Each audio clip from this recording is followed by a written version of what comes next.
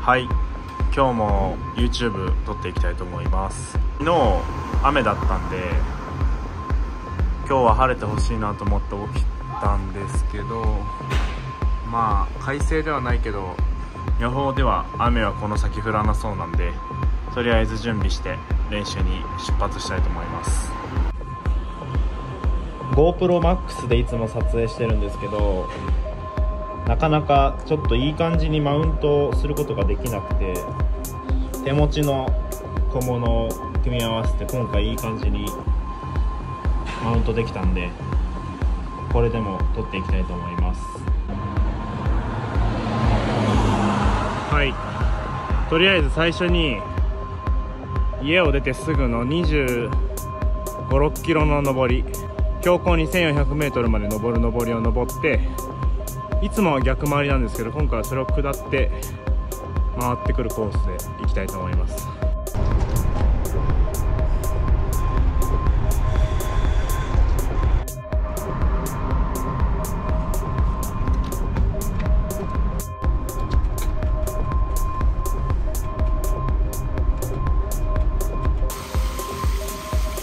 はい。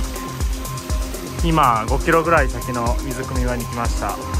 とりあえずここで水を満タンにして残り20キロ登っていきたいと思います。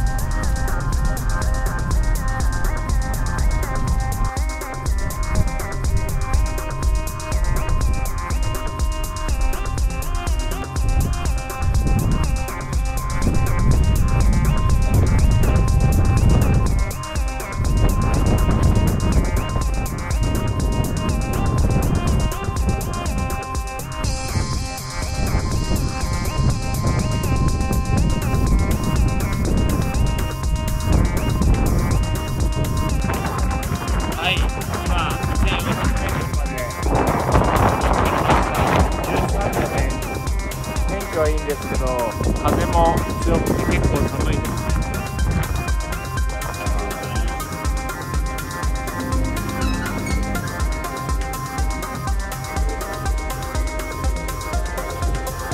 寒すぎる。今コーヒー飲んだんですけど気温が12度で結構寒いので服をちゃんと着て下りたいと思います。